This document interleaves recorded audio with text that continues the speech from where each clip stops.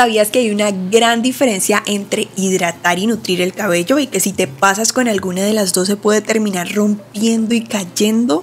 Si quieres tener un cabello hermoso y saludable, mira todo el video. Pero primero vamos a hacer un test a ver si tu cabello está sano, en camino a la muerte o estable.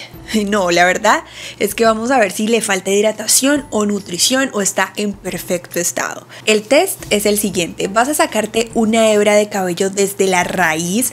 Procura que esté recién lavado y vas a intentar estirarla de manera muy leve. Si se estira y vuelve a su posición inicial sin partirse, está completamente sana y maneja el balance perfecto entre nutrición e hidratación. Por otro lado, si se estira y al final se parte, le falta hidratación.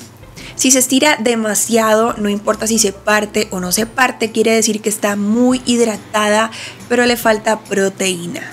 Hermosas, déjenme en los comentarios ustedes qué, notaron en su cabello. ¿Está sin proteína? ¿Está deshidratado? Por favor, necesitamos saber en esta comunidad cómo tenemos el pelo todo. Imposible que con la cantidad de videos que les he compartido tengan el cabello deshidratado o desnutrido. No me digan eso démelo más bajito en los comentarios. Bueno, y ahora que ya conoces el estado de tu cabello, vamos a ver cómo balancearlo según su necesidad. Pero a las que se deben estar preguntando en este momento, a Berlina, ¿por qué tendría que hacerte caso a todo esto que me estás diciendo? Bueno, aquí les va la explicación. Generalmente el cabello se alimenta de proteínas, como lo son la queratina, el pantenol, la proteína de trigo, los aminoácidos, la arginina, etc. Estos ingredientes generalmente vienen en las mascarillas que nosotros nos aplicamos seguido y que compramos en los supermercados. Y aunque te cueste creerlo un poco, el cabello se puede saturar de proteínas. Y si la hebra del cabello se satura de proteínas,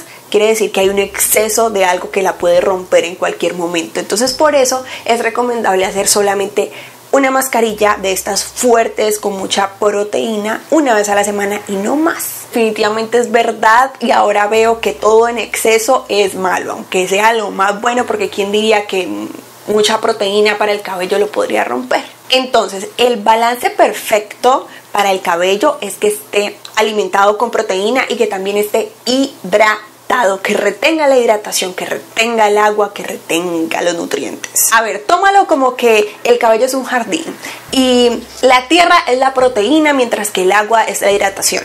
Uno no puede funcionar sin el otro, así que los dos tienen que estar perfectamente equilibrados. Ahora que ya entendiste el por qué necesitas balancearlo, vamos a ver cómo balancearlo. Para eso te voy a compartir eh, algunos métodos caseros que puede que sean más tediosos de hacer, pero funcionarán perfectamente. Si tu cabello está deshidratado, vas a necesitar una cucharada de miel, una cucharada de gel de aloe vera y una cucharada de aceite de coco o aceite de almendras. Hermosas, esto lo hice para la medida de mi cabello. Obviamente si tú tienes un cabello más largo, pues entonces duplica o triplica la cantidad de cucharas. Vas a revolver los ingredientes y aplicar en tu cabello dejando actuar por 30 minutos y después vas a enjuagar normalmente. Ahora, si a tu cabello le falta nutrición, vas a necesitar un huevo, medio banano triturado y una cucharada de tu acondicionador. Revuelve todos los ingredientes y aplica en tu cabello dejando actuar también por 30 minutos y luego enjuaga.